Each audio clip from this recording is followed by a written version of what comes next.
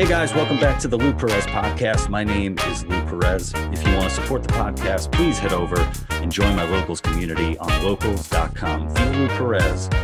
Locals.com. And I'm really excited uh, for my next guest. Um, her name is Nadine Strossen. She's professor emerita uh, of law at the New York Law School.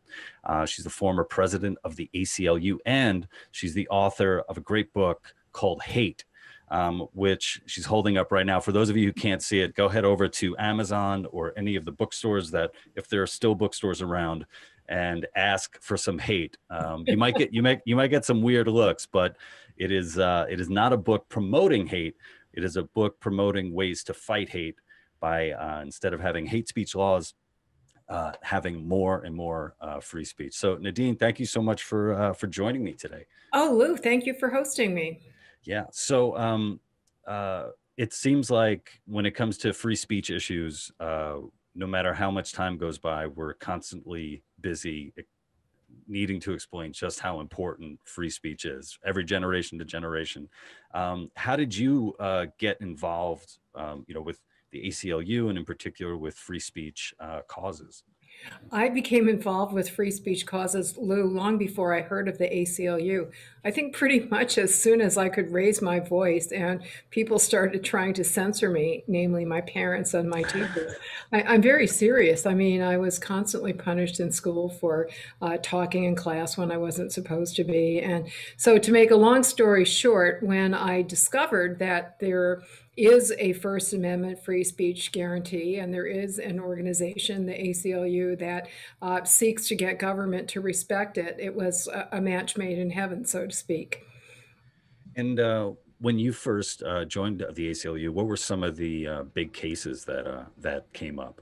Well, shortly after I graduated from law school was when the ACLU was embroiled in the historic so called Skokie case, which to this day many people see as the most famous or infamous case the ACLU has ever handled. And I think really epitomizes what free speech is all about. The ACLU, which has staunchly for more than 100 years now defended human rights, including for people who have traditionally been discriminated against, racial and religious minorities, as well as free speech, came to the defense of the free speech rights of uh, an organization which was expressing ideas completely antithetical to our own civil libertarian views, namely a group of neo Nazis who, to add insult to injury, wanted to demonstrate in Skokie, Illinois, a town that had not only a large Jewish population, but at the time, this was in the late 1970s,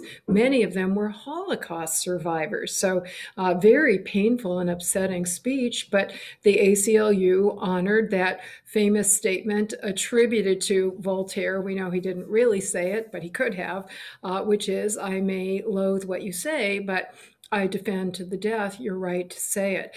And even at the time, uh, I say even at the time because we're having these debates again right mm-hmm. now, uh, but they've been recurrent throughout my adult lifetime. Skokie was certainly a time when even ACLU members, uh, many uh, many ACLU members thought that we had gone too far in defending free speech, and the ACLU lost 15% of our members resigned in protest. So you think, you know, these are the most diehard free speech supporters, those who fork out their $20 to become a card carrying ACLU member.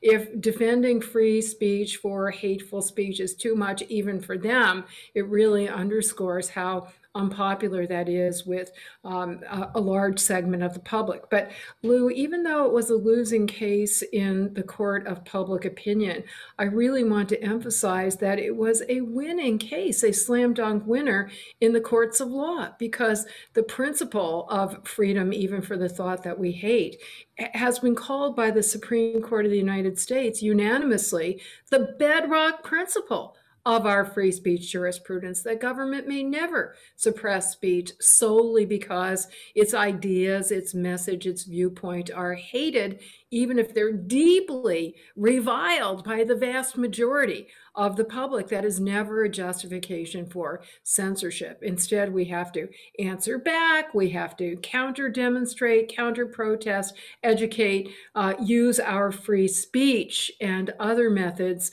other than censorship to counter the hateful ideas.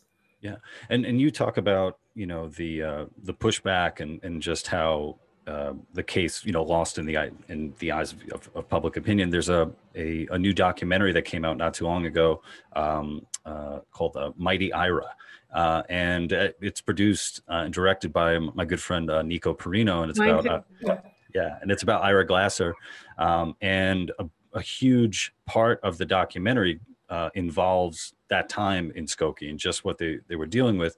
And uh, I know uh, Ira, uh, being Jewish yourself. I, I, thought it was a terrific film. I was interviewed for, and I'm happy to say I have, I have a bit part in, in the film talking about the Skokie case. Yes, my father was imprisoned in the Buchenwald concentration camp. He was born in Germany in 1922 as uh, what the Nuremberg laws, you know, those odious racial laws, classified him as a Jew of the second degree because one of his parents was Jewish. He was also very active in the anti Hitler political movement. So, for both of those reasons, he was thrown into the Buchenwald forced labor camp and he was literally scheduled to be sterilized because the Nazis had a program of um, eugenics, eugenicide, in addition to direct genocide. And one day before his appointment to be sterilized, Buchenwald was liberated by the American military. Mm. Uh, so I always like to thank them when I speak to military audiences. I owe my, my life as well as my liberty to, uh, to the U.S. military. So I app could not loathe the Nazis more. Many other extended members of, of my father's family were slaughtered, as were, you know, my husband is also the um, son of Holocaust survivors. If I believed that censorship would have prevented the Nazis' rise to power or the Holocaust, I would have been in favor of it. I mean, no free speech absolutist, which means very strong defender, absolutely, unqualifiedly, without exception, defends free speech. We simply say that those who want to suppress it have a very heavy burden of proof. They have to show that the suppression is necessary in order to promote some countervailing goal of great importance. And if, I were convinced that suppressing speech would have been uh, even effective, let alone necessary, to prevent the Nazis from coming to power, I, I, would have been in favor of censorship. But the historic record shows exactly the opposite. Uh, Nazis and other hate mongers were subject to very tough anti hate speech laws in the Weimar Republic, uh, during which Hitler rose to power. They were prosecuted, they were convicted, they served time. And obviously, that didn't stop their rise to power. Conversely, these trials became propaganda platforms for them where they gained attention and sympathy that they otherwise would never have received. And uh, on, a, on, a, on a personal level, so uh, in, in, the documentary, and for those of you who haven't seen it, you know, please go go check it out. Uh, Ira has this um, contentious relationship with a survivor of the Holocaust who lives in Skokie. Who this is a man who lost, I think, everyone in his family and managed to squeak by and survive. Inc- just an incredible, harrowing story. And Ira has to explain to this man why he is defending the right of people who would uh, happily, you know, uh, reignite the ovens, you know, and and destroy, the, you know, uh, more Jewish people. He has to explain to him why he's holding uh, to this to this principle. And did you did you ever have to do that with your own family, with your own father? Were those arguments there? Uh, yes, I. Uh, but I would say for my father and my, I still have some surviving relatives in Germany. Um, it's more a general skepticism about the importance of free speech than uh, not none of them has contended that uh, censorship would have been effective in preventing the Nazis uh, from coming to power. And I, I think what's also interesting is if you look at Germany today, it continues to have extremely strict anti-censorship or anti-hate speech laws, and yet uh, anti-Semitic violence and violence against refugees and um, and and immigrants is extremely high in Germany. There's at least as much uh, more serious problem than there is in the United States. So uh, those hate speech laws clearly are not doing the job to to prevent the problems. Yeah, it's it's really wild when you look at Europe. Um, you know, they're supposed. I think a lot of times people look to Europe as if they are, you know, better than us, than us, you know, us backwards uh, Yanks and sort of uh, uh, the wackos that I consider myself an American wacko, but um, uh, yeah, uh, but when you look over there and you start looking at the population of, of Jewish people, you know, even in even in a country like France, I mean, mm-hmm. you know, Jewish people just fleeing. Um, they're very they're very afraid. I mean, let me let me say something that your uh, audience members may not be aware of, which is so shocking. A couple of years ago, 2018 to be precise, uh, the uh, the uh, Chancellor Angela Merkel in Germany appointed for the first time ever in German history a cabinet level official in charge of uh, anti Semitism or combating anti Semitism. This is a country that has had those problems in the past, but that the problems had gotten so severe uh, and and and that person in 2019 issued a warning to Jews in Germany that it's not safe to wear the yarmulke, uh, the skull cap that many observant male Jews feel a religious duty to wear. It's not safe to wear it everywhere in public in Germany, and that was echoed by the head of the umbrella organization uh, of all Jewish uh, organizations in Germany, echoed that because people have been beaten up even in Berlin uh, and subjected to anti Semitic epithets uh, when they identify as Jewish. So, you know, that that's happening in the 21st century yeah. in, in, Germany. Uh, it certainly shows that, you know, maybe things would be even worse if there weren't anti hate speech laws. But mm-hmm. I think it's, we've got to focus on dealing with the underlying attitudes and the actions. Germany only shockingly recently made it illegal to actually discriminate on the basis of race, religion, and so forth. You know, while the United States lags behind, I would say ahead of the rest of the world in refusing to censor hate speech, we were pioneers. I mean, it was too late, but we were ahead of the rest of the world in outlawing discrimination in employment, housing, public accommodations, and so forth, and also punishing discriminatory violence. That was the problem in Germany, that Hitler and his thugs got away with assaulting and even murdering Jews, my other minorities, and their political opponents. Are, are you familiar that there's something that happened recently? Um, uh, there's a show called the uh, the Mandalorian, which I guess is a, a Disney show, and an actress on it was recently uh, fired.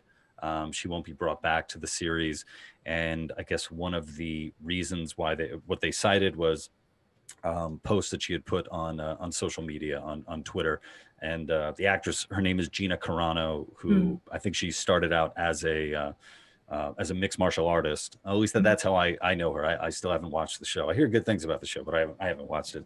Um, and apparently, one of the posts that she put um, was basically saying, uh, and I hope that I'm that I'm you know doing it justice.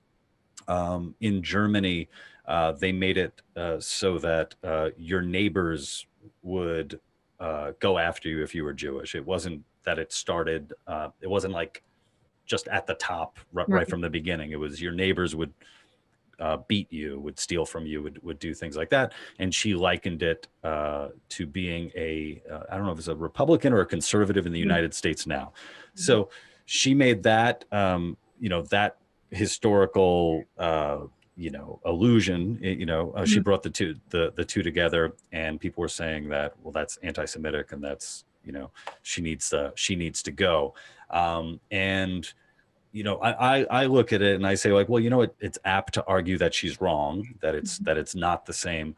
But the idea that um, the best course of action would be just to get rid of this rid of this person you know? and, and if it's something that you're not familiar with i don't want to you know go yeah i'm not familiar with it. that incident but you're raising a very important principle um, be, which is that uh, precisely those groups who have been subject to discrimination and, and discriminatory violence, including Jews, should be the last ones to advocate censorship because, in the long run, we absolutely depend more than other people and other groups on robust free speech. Members of minority groups, by definition, are never going to wield majority political power. So uh, we depend more than others on free speech, free freedom of assembly, being able to raise our voices, advocate, lobby, petition, organize. And uh, that's why um, my book has a quote I love from Noam Chomsky, who speaks against hate speech laws, including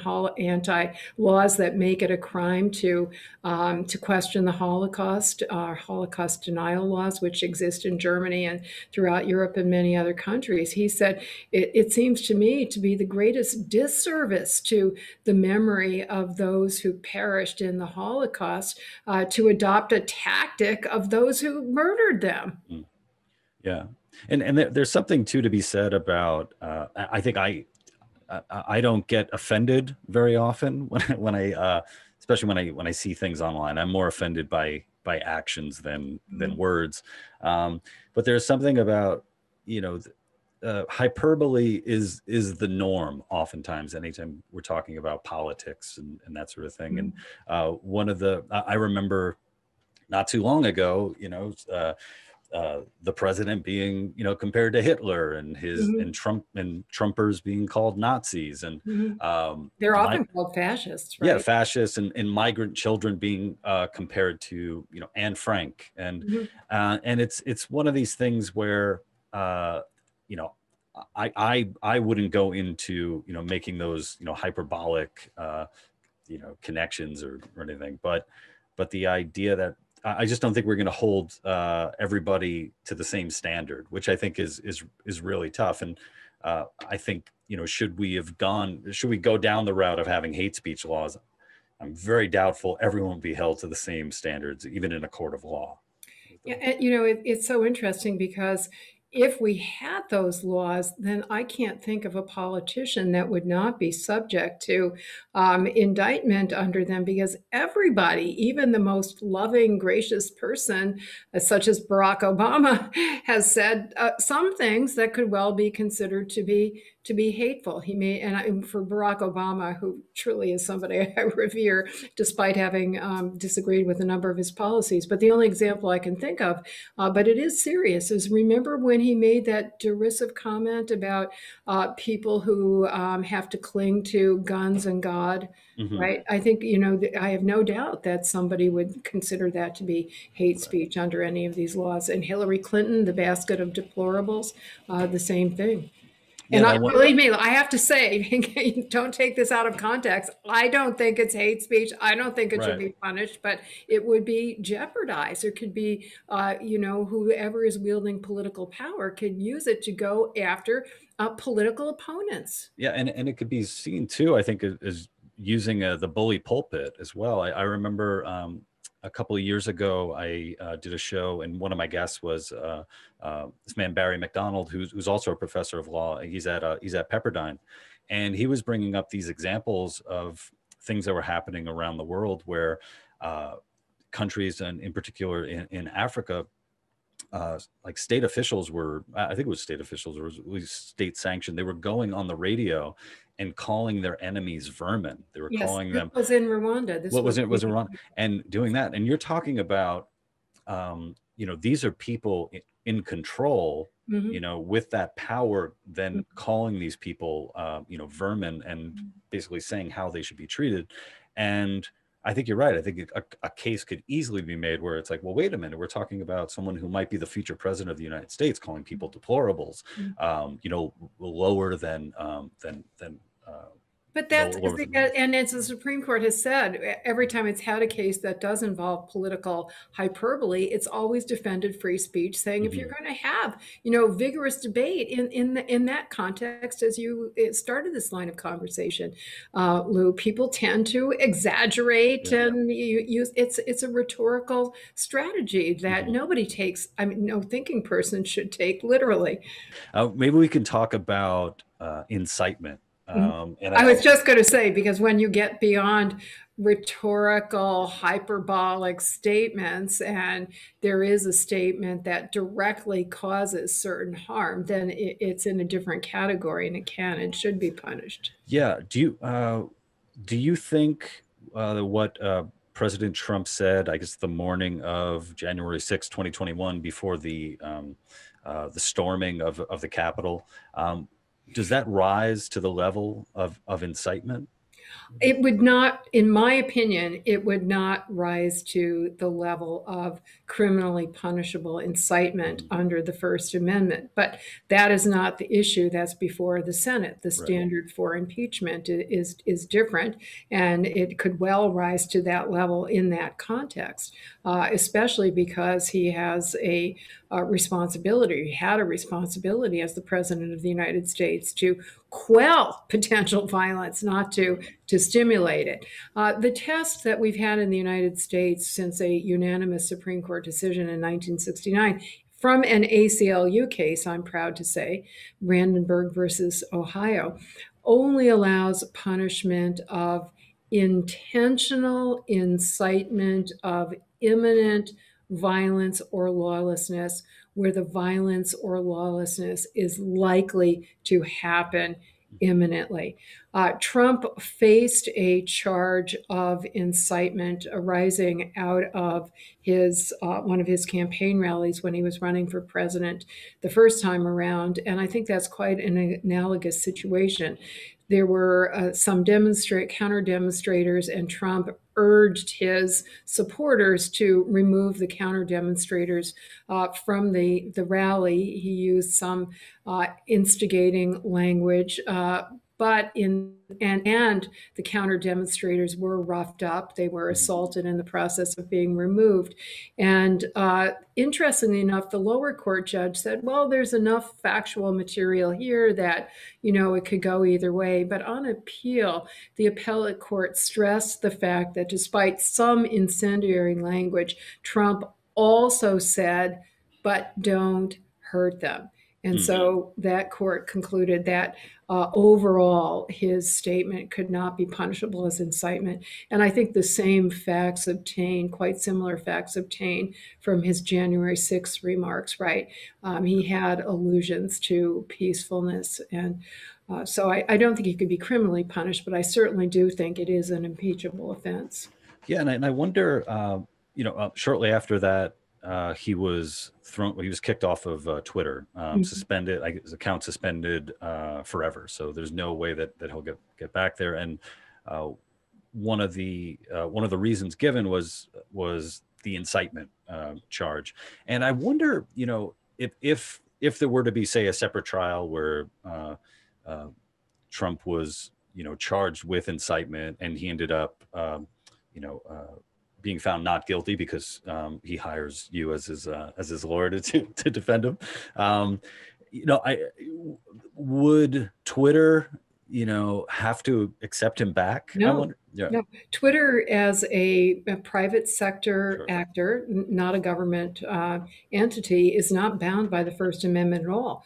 Twitter could ha- kick anybody off or refuse to have anybody on for any reason or for no reason. It just the way you don't have to host me uh, or anybody else on your podcast, right? That's you are exercising your First Amendment rights in making those decisions, and that's what Twitter is doing. And I don't think that it's trying. These social media uh, content moderation policies are deliberately um, not allowing speech that the government would have to allow. In other right. words, their restrictions go far beyond what the government could constitutionally impose. And that's very worrisome because, for all practical purposes, when you're talking about the giant platforms, um, that's where really where the action is. If you're going to reach an audience and uh, as a politician or somebody who's interested in public affairs, um, you really need those platforms, and yet you don't have any First Amendment protections against their censorship.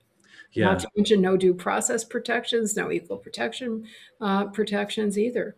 Yeah, and and you know it'd be. Uh, I found it interesting that sort of the same people that were you know condemning uh, social media platforms like Facebook and Twitter for helping Donald Trump get elected in 2016 mm-hmm. uh, were then cheering them on for finally getting rid of them. And it it's one of these things where you know I I, I totally get the the argument. It's a it's a private uh, company. They can they can do what they want, mm-hmm. but for the court of public opinion to treat them uh, like they're these you know uh, benign agents or or you know or worse you know doing good um, it's just it's tough it's tough to swallow it's sort of like you know they have they have other intentions for sure right and and even though i defend their first amendment rights to um, exercise their editorial discretion i really uh, am a very strong critic of how they are doing it and among other things lou they are being so subject to pressure by government officials and politicians who are basically saying, you better voluntarily uh, restrict more speech or we're going to regulate you. And I think actually very serious arguments are starting to be made now that maybe this should be seen as government censorship, that government is exerting so much pressure on the social media companies that it is in effect using them to carry out its own censorial programs. I mean, the amount of times, you know, we hear government officials talking about Twitter, talking about Facebook, bringing them up in, in conversation. Uh, it's just so it, it's so weird. Where now the you know those platforms are being used as sort of a um, political tool, you know, to uh, you know, well, let's let's get all the conservatives pissed off at you know so and so, and then and now let's get everybody on the left pissed off at at so and so. I don't know how. I don't know what happens moving forward. I don't know what it looks like. Well, there's no doubt going to be a serious effort at regulation. Biden uh, had, when he was running for for president, uh, said that we should get rid of so-called Section 230, which, uh, as people probably know now, is the liability shield that um, platforms have for content that's posted by third parties. I think that would be disastrous, but I think there's a serious uh, there's going to be a serious effort to do it. The reason it would be disastrous is that would increase uh, censorship pressures on these companies. Right? They wouldn't uh, if they're facing potential liability for what the rest of us post. Uh, they're probably going to return to the very stringent kind of gatekeeping role that we saw in traditional media newspapers, uh, broadcast TV, and, and, and, radio. And that would completely destroy the unique benefit of the internet as giving every one of us an opportunity to communicate with, with the rest of the world. So I'm very, very troubled about that. Um, uh, also coming down the pike, there are there are antitrust investigations. I think that's very serious. I, I don't know whether um, the remedies are warranted, but certainly the the extreme uh, the extreme power that's wielded by some companies um, is very troublesome when they're not accountable to uh, the Constitution. They're not accountable to democratic processes uh, for all of the dangers that that Trump and and Biden, uh, because both of them have policies that are um, against free speech on some important issues. For all the dangers they pose, I think that the titans of Silicon Valley are even more dangerous because um, they are not subject to constitutional constraints. We can't vote them out of office. We can't impeach them. Um, so it, we have to find some other ways to to restrain that power from from being abused. Yeah, well, I guess that I mean that that's a really important question, and a, I think a difficult one is like how do you uh, restrain that because uh, you know, uh, you were talking about getting rid of, you know, Section 230, which I think is something that most people uh, don't really understand, um, including uh, those who want to get rid of it. Right? exactly, and, and, I wonder, you know, at what point does a um, a government body regulating something uh, like is there is there a point where they can regulate it so much where they where the company has to abide by you know constitutional protections? Like meaning i, I don't know how I you you're saying. you know what i mean? How do you maybe you could explain it better. So, yeah uh, well there are there are so many different strategies that are being talked about lou. I would say even in the last um, couple of the last couple of weeks um, in the, in the aftermath of both January 6th and Trump being kicked off platforms, there's just been an explosion of uh, theories that are being voiced even by libertarian uh, professors and economists who are uh, suddenly coming up with all kinds of theories as to why and how these private sector companies could be regulated. Uh, for example, a very prominent libertarian law professor who spent most of his career at the University of Chicago, now he's at uh, New York University. Epstein? Richard Epstein um, was interviewed in the Wall Street Journal a few weeks ago, and I was really surprised that he, of all people, uh, was advocating that the giant social media companies uh, could and should be treated as regulated public utilities or common carriers harking back to an old common law concept that when a private company is such an essential part of the infrastructure of everyday life. You know, when it started under common law, it was the innkeepers, right? Um, that they had to treat everybody in a fair, reasonable, and non discriminatory way. Well, that makes a lot of sense. And it seems to me to be uh, very worth exploring, treating at least the very, very large companies as analogous to the landline phone companies a century ago. And just the way we don't allow the phone companies to uh, kick us off or, you know, to, to monitor what we're saying and to kick us off if they don't like what we're saying. Uh, I think there's a lot of uh, force to, to, to that analogy, but it's, it's a complicated and delicate, and I think we would have to proceed very slowly before taking such a major step to make sure there aren't unintended adverse consequences. Mm-hmm. Yeah, I had a, a guest on, a, a, friend of mine. He's also a comedian named Ryan Long, and something that he brought up was uh, how when Trump was kicked off um, Twitter, he was quickly kicked off Facebook, and then a lot of prominent uh, Trump supporters they saw themselves kicked off. Then the um, platform Parler mm-hmm. was taken, I think, out of uh, the App Store, mm-hmm. um, and then I've I've heard so much about uh, people having you know bank accounts uh, or credit cards closed down mm-hmm. uh, and and yeah when you start and ryan was bringing this up to point to you know this this obvious collusion happening here where mm-hmm. it's like you know all these different platforms seem to be talking to one another and saying mm-hmm. okay okay today's the day we can get rid of uh, we can get rid of so and so that's that's a really scary position to be in even even for you know a, a you know hardcore you know libertarian like myself mm-hmm. the idea that that that somebody's livelihood could be taken away so quickly is it Exactly. yeah it's, it's exactly. a struggle exactly and that's why i'm coming around to that position as well uh, there are other um, technical solutions that uh, I think would be important. When I say solutions, um, what I see as the problem is too much restriction of speech. I have mm-hmm. to acknowledge the fact that the vast majority of critics of social media come from exactly the opposite perspective, right? They're constantly saying, oh, there's not enough restriction. You're letting up too many hate mongers. You're keeping up too much disinformation, right? Uh, so we have to acknowledge that there's going to be a lot of pressure for reform to move in exactly the opposite direction.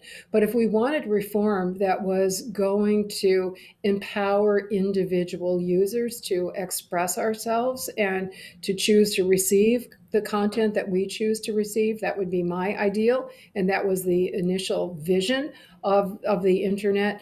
Um, then some technological solutions that have been advocated by uh, groups such as the Electronic Frontier Foundation are usually called interoperability, big word, and delegability, that these platforms would have to be open to uh, intermediaries put, plugging in their own content moderation alternatives. So each of us could choose. We mm-hmm. wouldn't be beholden only to the standard issue that, as you say, is becoming standardized across all the companies. But we could have, you know, the Lou Perez free speech channel, and we could have uh, the opposite and, and, and everything in between. Delegability means that for those of us who are not technologically adept, we could delegate that function to some expert companies or individuals who would take care of it for us. Yeah, I uh, I've been I guess living online for for a long time. I've been man for you know well over 10 years I've been putting stuff on on YouTube and uh, and all the other platforms. And the one thing that I just consistently wish for, I'm just like, look, just just let me block people who I don't want to deal with and then just let anybody who wants to see my stuff see my stuff. I, I don't think I'm asking for uh, uh, asking for that much, um, and I think most people would be you know would be okay with that. Um, uh, you know I, what really scares me, Lou, and I, I'm really surprised it has gotten very little attention compared to the degree of the problem. Is um, you and I are using Zoom now. Right. When I teach, I use Zoom the vast majority of my constant speaking engagements, webinars, podcasts, so forth, are via Zoom. There are a few competitors, but Zoom is really dominant. Uh, and Zoom, under its contract and terms of service, retains absolutely no obligation to host uh, any content at all. So we've had a number of incidents. The first one that got publicity was back in September, uh, where Zoom got wind of a forum that was going to take place at a university in California. Um, it had some objection to uh, one of the speakers, and it canceled the forum at the last minute. Then, to make it even worse, a couple other universities, including NYU, were hosting Zoom events to protest the Zoom censorship. And guess what? Zoom blocked those as well. Uh, and I think this, I mean, when you, it, so all of the universities in the country that are dependent on Zoom and, and, are committed to protect academic freedom and free speech are beholden to this company that does not share their commitment to academic freedom and free speech. Wow. Well, yeah, I didn't, I didn't know about that. This whole time I've been, I have a subscription. It's been, it's been really underpublicized. Yeah for the Zoom uh, gods watching me, come on, guys, uh, what are you what are you doing? Um, uh, fortunately, I'm sure, I, am sure the other companies have similar similar um, uh, policies. So I didn't mean to, but Zoom is so dominant; it's well, particularly concerning. Well, and it's it's it's one of those things where you know I feel like I'm. Uh, I don't know. I feel like I'm a throwback to a different to a different era where the stuff that will get you you know kicked off or have have somebody you know have a company like zoom not run your your seminar is stuff where i'm like really? Is this really what we're doing? I, have been uh, uh, i've been having a, a, lot of fun going on youtube and watching old clips of firing line with william oh, f. Buckley. I used and, to do that show. Oh, you you were on it? Oh yeah quite oh wow. Yeah. oh, oh man i got up yeah I, am gonna have to to binge um, uh, some some episodes with you on. And you know, there are episodes there where you have William F. Buckley, uh, you know, debating um, uh, Chomsky. You have him talking with members of the Black Panthers. Mm-hmm. There, there, was one uh, in particular. Uh, he was talking to. I don't know if he was a mayoral candidate for Philadelphia, a black man, and behind him were standing two uh, guys in in fatigues, his bodyguards with their arms folded. Mm-hmm. Like this is wild stuff, and what you know, you don't have to like William F. Buckley to say, hey, you know what, I want to I want to hear what this conservative, uh, how he's going to respond to you know people on the far left. I want to hear what he has to say with mm-hmm. when uh, when not Gore Vidal. I, I know he's not friends with Gore, Gore mm-hmm. Vidal, but like when he has Norman Mailer on and, mm-hmm. and all this. And uh, I don't know, maybe I'm longing for the days when that was just normal, when that was mm-hmm. just, hey, this is mm-hmm. what this is what we're this is the way we do things. Mm-hmm. Yeah. When uh, when you were on, what what did uh, did you talk about? Uh, oh, I, I, was on multiple times for various civil liberties issues. The ones that and and some where he and I agreed. He and I also were on the campus lecture circuit together. We debated each other many times on campuses all over the country. I remember on on gun rights, on abortion, affirmative action, uh, but there were some issues where we strongly agreed, namely. Um, uh, drug policy. And he came around. Yeah, a lot of yeah, people don't yeah, know that. The whole National Review, when he was editor, um, was on board for de- decriminalization long before any liberals uh, did so. Mm-hmm. Right, the liberals were so afraid of uh, being accused of being soft on drugs or soft on crime that it was the conservatives who, who were in the vanguard and civil libertarians on that right. issue. Yeah, and um, uh, well, it, it, I know that that you wrote a book uh, defending uh, pornography. I, I, haven't I haven't read it uh, read the book yet. Uh, are there any pictures? Yeah, I was just going to say the pictures are actually quite amazing because I, if I do say so, I chose them to illustrate that no matter who you are, there will be something, some image that is deeply important and valuable to you that other people will denounce as pornography, mm-hmm. including some uh, pictures of uh, illustrating biblical scenes. So, mm-hmm. for those who are coming from a Christian traditionalist anti pornography perspective, they would be horrified to know. But there actually have been attacks on biblical imagery and and and, and language as being pornographic, and and certainly from the, the so-called radical feminists who wanted to censor pornography, a lot of their own words and books were attacked as being pornography, right? Because in the oh, the, the my fav- favorite uh, illustration of that, Lou, there was this organization in New York called Women Against Pornography.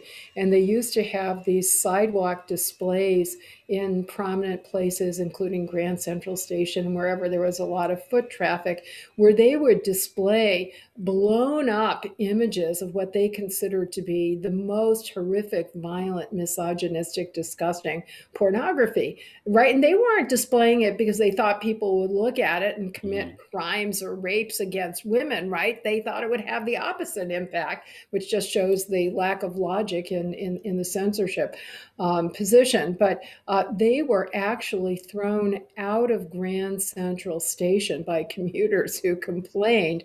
And guess what? They came to the New York Civil Liberties Union asking us to, to defend their right to display pornography. Wow, wow, that that's really interesting. I, I uh, it, there was a, there was a debate going on on Twitter. I guess you know not too long ago. The, the, these culture war debates pop up every now and then, and you're like, what what year are we in? But uh, I guess a number of conservatives were talking about.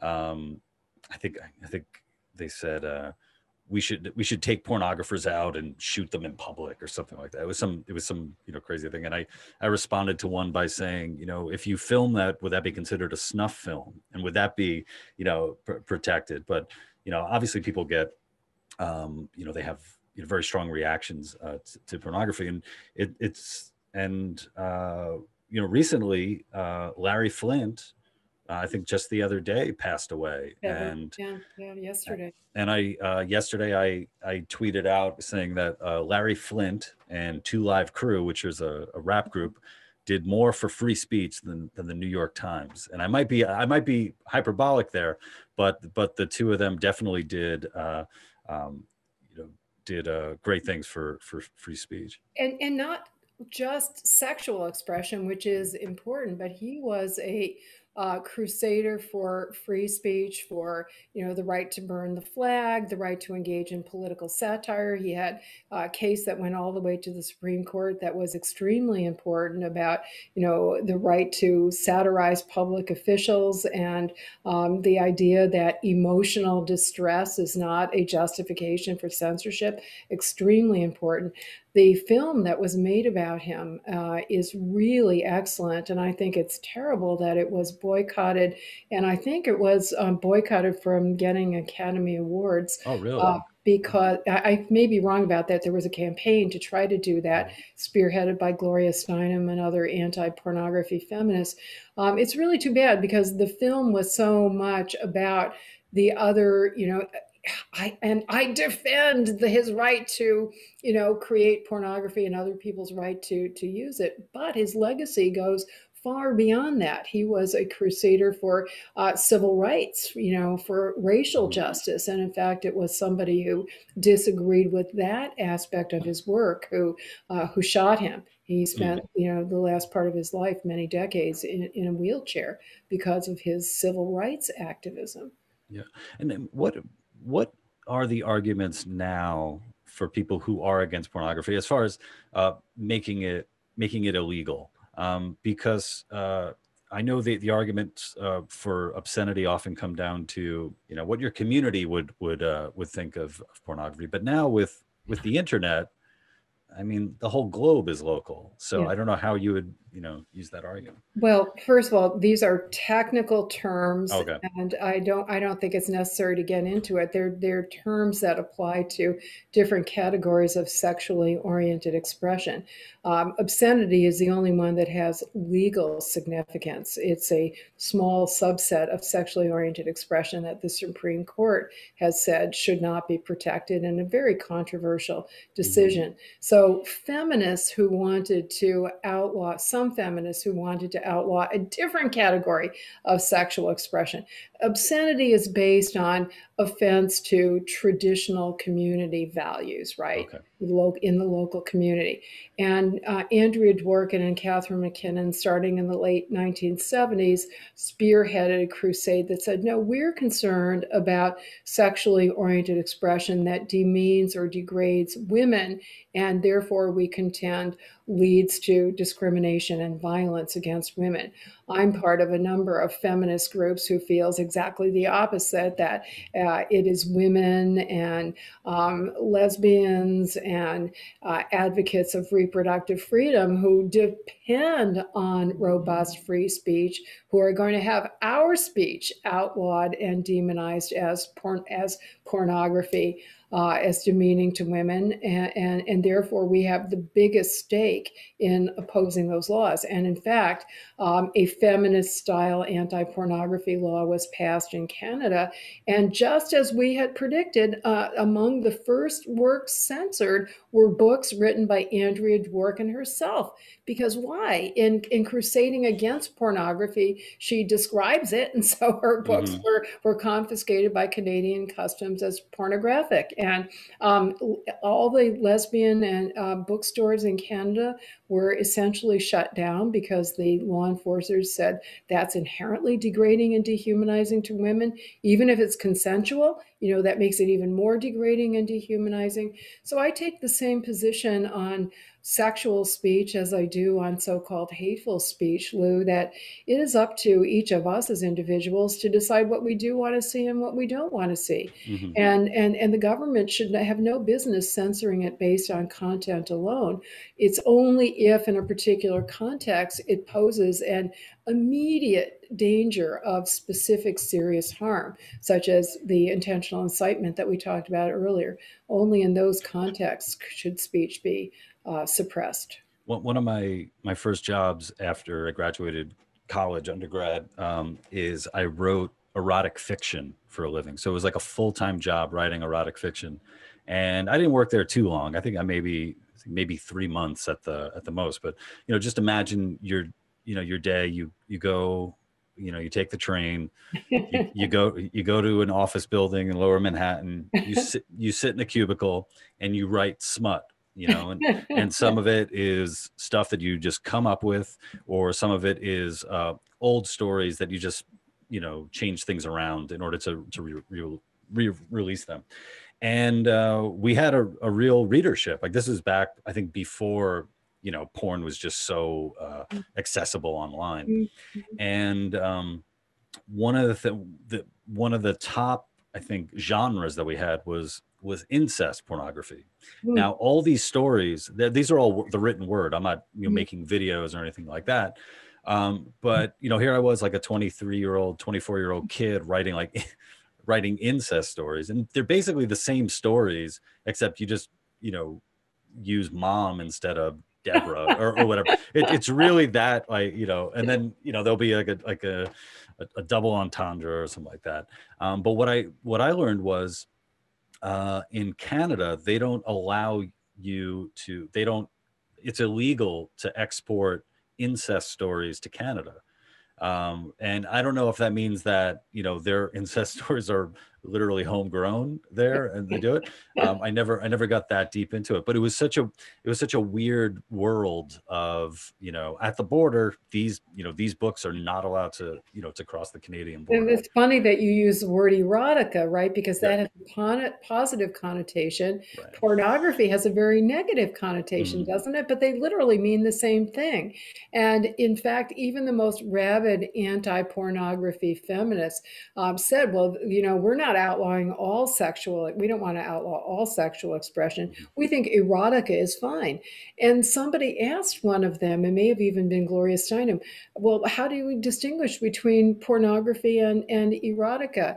And, and the answer was, uh, what turns me on is erotica. What mm-hmm. turns you on is pornography. yeah. Uh, this stuff that I wrote was garbage. Oh god, it was so it was it was really really off. I, I still have um, the books, the digest, uh, mm-hmm. if you will. Um, that uh, maybe at, at, some point uh, I'll talk I'll talk more about it. Um, be, before we go, um, I, I, would love to talk about a uh, a pet peeve that it, it, looks like both you and I have, and that's regarding the uh, the often touted line of about shouting fire in a in a theater or shouting fire in a crowded theater and how the First Amendment doesn't protect your right to shout fire in a crowded theater. Uh, could you can you talk can you uh, explain where that comes from and... sure I, would love to hear your pet peeve take on mm-hmm. it i assume we have the same reasons for it. It comes from a famous dissenting opinion by uh, justice oliver wendell holmes which very strongly protected free speech except in, you know pretty much the, the point that i've been summarizing because it's now become the law uh, for many many years many many decades in in the united states. That is that only when speech poses an immediate great danger is government justified in censoring it. Uh, and so, to illustrate that, Holmes used this theater metaphor. Now, 99 times out of 100, people will purport to paraphrase it by saying, You don't have the right to shout fire in a crowded theater. But they leave out the crucial word falsely. You don't have the right mm-hmm. to falsely shout fire in a crowded theater. If the theater is on fire, you want people to shout it. Please. And, that, that be, and, and the point is, Lou, obviously, in that context, it, you know, if it's true, then it is life saving. It's positive the speech is positive. It's only if it is false and life endangering um, that you are justified in censoring. And for what it's worth, he also didn't use the word crowded, right? right. so any theater. Yeah. So nowadays, with uh, I guess you know COVID and social distancing, you, can't find a crowded theater uh, anyway. My my pet peeve with it is is the is that nobody seems to know about the case uh, that yeah. you know that actually resulted in, in that quote and uh, it's uh, I, I never forget I remember how Is to pronounce Schenck? it. I think it's Shank. Sh- yeah, Schenck. Yeah, so I apologize because that was he was that was still a majority opinion. Yeah, yeah, yeah. He only came around to dissenting in a later case. Yeah. Yeah. So Shank versus versus the United States. Um, you had uh, a, a, group of uh, members of the Socialist Party who were giving out pamphlets telling uh, Americans, American men, uh, not to submit to the draft because uh, your value as a human being is is is worth more than than cannon fire. So you should not submit to the draft. And they were they were thrown in jail under I guess the Espionage Act of, of 1917. And it's sort of like every single time somebody brings up, well, you're not allowed to shout fire in a crowded theater. It's like you're using the reasoning of a case that would put every anti-war activist in prison anybody who you know who uh, any uh, pacifist in prison and so i really wish i I wish people would, uh, you know, uh, And no that's a longer really use that. that's a really good point. That you know, and, and thank you. I'm going to add that to my litany of complaints about the statement, uh, misuse of this quotation. yeah. Um, anything uh, exciting coming down the road uh, for you in you know life or free I'm speech or I'm constantly doing debates, and I think the most interesting one that was added recently, you know, this program IQ Squared. oh yeah Yeah, so I'm going to do a debate for them next week Nice. on um, um, arguing that the social media companies were wrong to deplatform Trump. whoa I always take these really popular positions.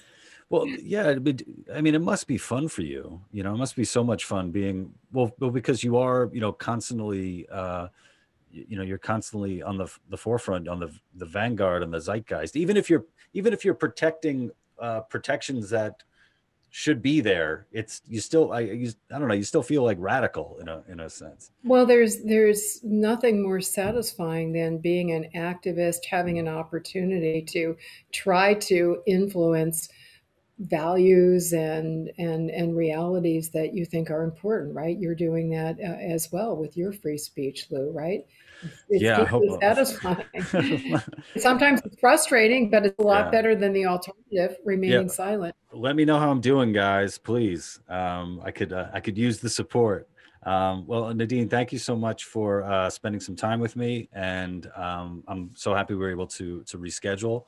And uh yeah hopefully uh uh, when when is the iq squared? Uh do you know what i think it's on the 19th 19th very cool. Is it going to be live uh i have can- no idea. I will be happy to send you the information they sent me.